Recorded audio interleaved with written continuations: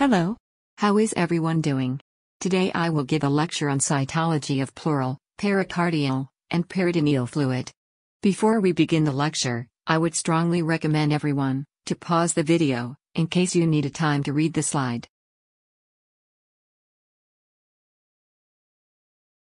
Let's begin.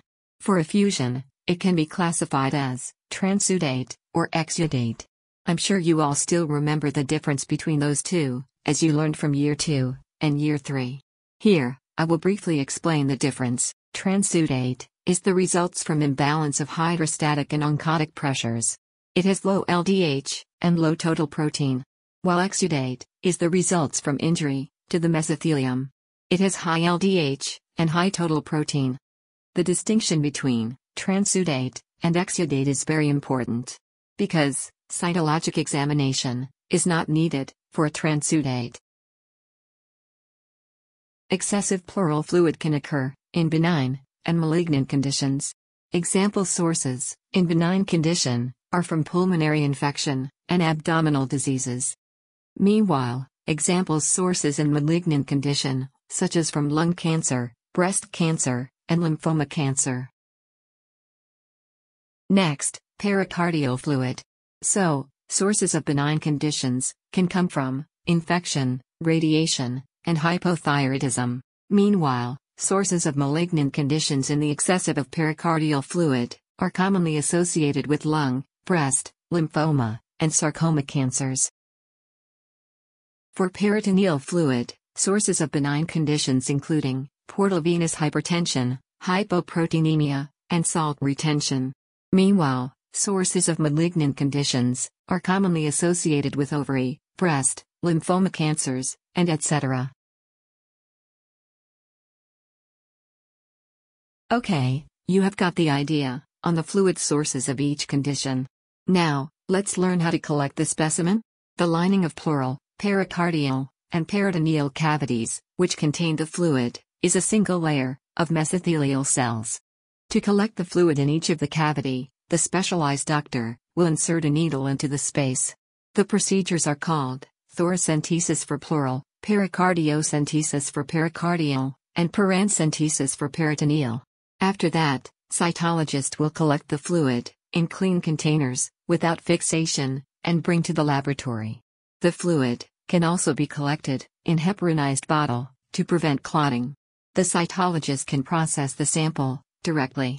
If not, the fluid can be refrigerated at 4 degrees, while waiting for it to be processed. But, before the fluid can be processed, the cytologist needs to do gross evaluation and fluid analysis. For gross evaluation, the fluid color and viscosity will be recorded in a form. For fluid analysis, the fluid will be divided for biochemistry, cytology, and microbiology analysis. After that, the fluid will be ready for cytology slide preparation. First, you need to shake the containers to disperse the cells. Then, centrifuge the fluid, about 50 milliliters in volume, and discard the supernatant. Collect the sediment for various procedures, such as direct smears, cytospin, thin layer slide preparation, and filtration, which will transfer the cells to the slide. Then, Fix the slide with alcohol, and ready for PAP stain, or MGG stain. However, apart from the above procedures, you may also pool the cells from the sediment, and prepare cell blocks, using paraffin wax. After that, you can view the cells and detect specific markers by immunohistochemistry staining. Here is the flow image of the filtration procedure. It is actually an ancient procedure to collect the cells from the fluid, before we had various models of centrifuge machine in our current world. Okay, after slide preparation, you will view the slide. And, how to do the reporting. If the slide is negative for malignancy, you need to report it, as no malignant cells identified. If the slide is positive for malignancy, you need to report it, as positive for malignant cells. However, if you find suspicious cells in the slide, you can report it, abnormal cells are poorly preserved, or, too few cells to support diagnosis. The report will be sent to the pathologist, for validation. Do you know that, For detection of serous malignancy, or mesothelial cells malignancy, cytology is more sensitive than tissue biopsy. Okay, now let's learn on what you can find out from the slide. First, for benign effusions, they usually contain mesothelial cells, histiocytes, or macrophages, and lymphocytes. Red and white blood cells are common contaminants in the slide, as bleeding is quite common during the needle procedures. For the mesothelial cells in the slide, they can be sparse or numerous in benign effusions. Let's look at the cytomorphology of mesothelial cells. In normal conditions, the cells are uniform, have oval to round nuclei, with round cells, and have peripheral vacuolation, and blebs on the surface, which are microvilli.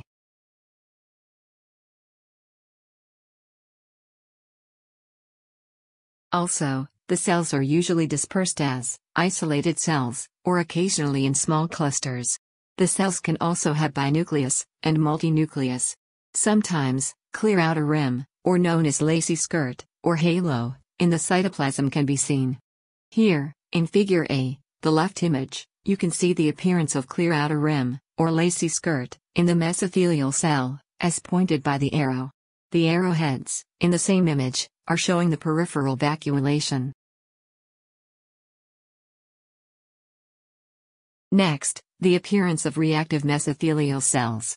The cells usually, varying in cell size, and nuclear size. They have large central, of paracentral nuclei. The reactive cells can also have, binucleus or multinucleus, and have prominent nucleoli.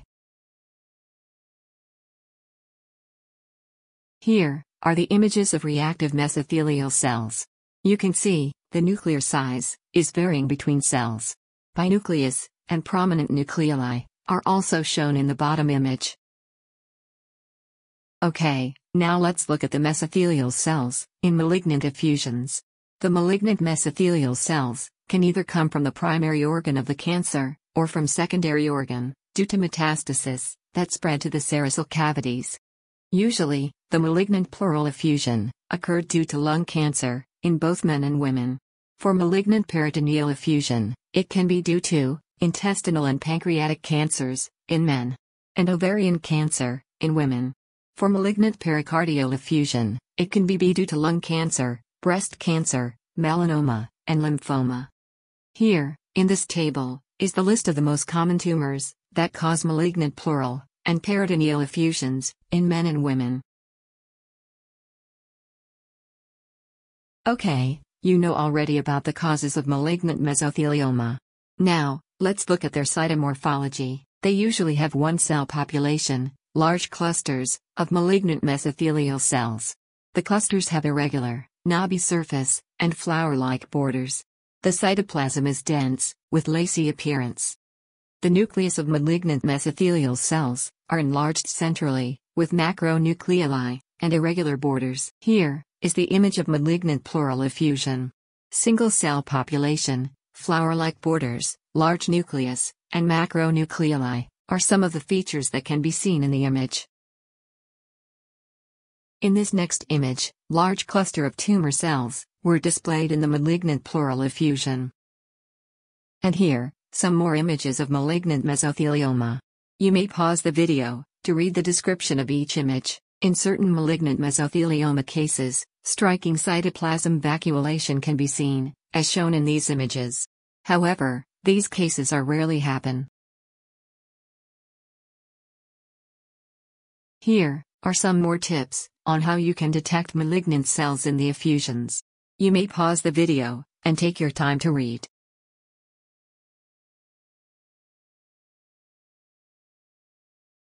Next, I want to talk about cytomorphology of metastatic tumors. For your info, metastatic tumor is tumor that has spread from the primary site of origin, or where it started, into different areas of the body. First, adenocarcinoma of the lung. The cells can be in large spheres, or appear as single cell. They have increased nucleus to cytoplasm ratios. Again, cytoplasmic vacuolation can appear. The nucleoli is large and irregular. You can see the right image is the malignant cells of lung adenocarcinoma in the pleural fluid. If for example, the cytologist has a problem to identify the malignant cells, special stains or immunohistostain can be performed.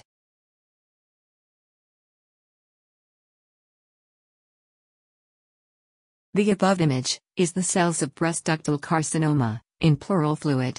The bottom image is the cells of stomach adenocarcinoma in pleural fluid.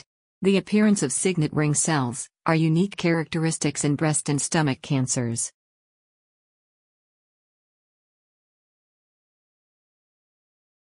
Next, squamous cell carcinoma. The metastatic cells can appear in large clusters or isolated cells.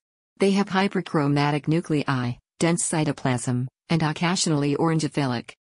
Here, in the bottom image, orangeophilic and large clusters of cells can be seen in the metastatic cervical squamous cell carcinoma that appear in pericardial fluid. In this image, metastatic squamous cell carcinoma in pleural fluid is confirmed by the orangeophilic and hyperchromatic nuclei.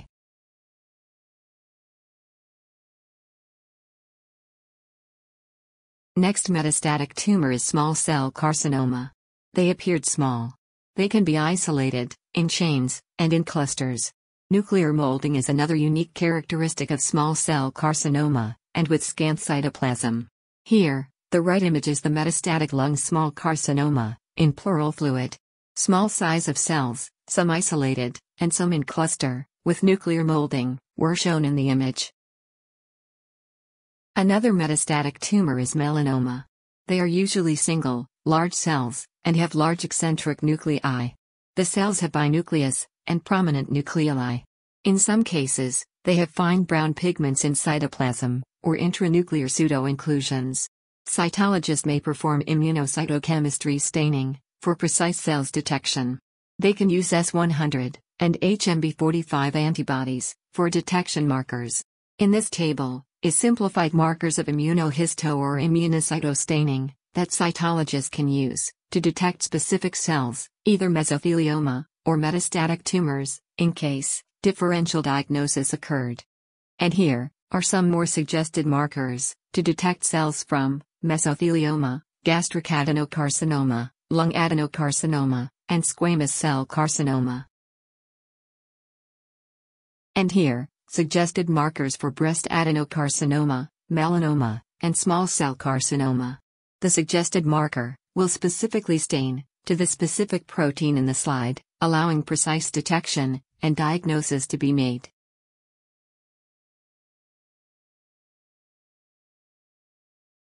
Now, you can test your knowledge. Let's say, you are working as a cytologist in a cytology laboratory. How are you going to report this first case?